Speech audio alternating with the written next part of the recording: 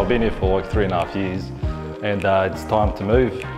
So I'm going to suss out the area, suss out some agents and uh, yeah, we can go from there. No worries. Hey, look, mate, how are you? Yeah, it's good. So I'm thinking about selling my house. Um, can you come around and give me an appraisal on it? Yeah, no worries. I'll see you soon. Cheers.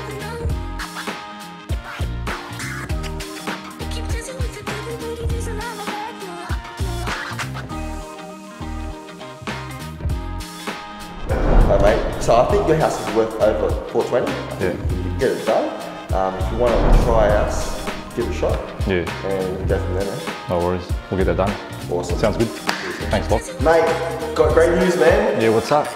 We have sold the Are property. you serious? Yeah, That sure. sounds nuts.